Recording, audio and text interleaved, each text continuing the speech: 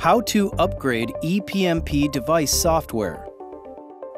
In your browser, navigate to 192.168.0.1. Log into the device with username admin and password admin.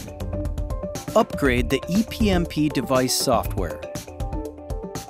Navigate to Tools and select Software Upgrade. There are two options for upgrading the device software local file or URL. To upgrade using a local file stored on your computer, select Local File. Locate the file using the Browse button and select your file. Finalize the changes using the Upgrade button. To upgrade using a URL, select URL.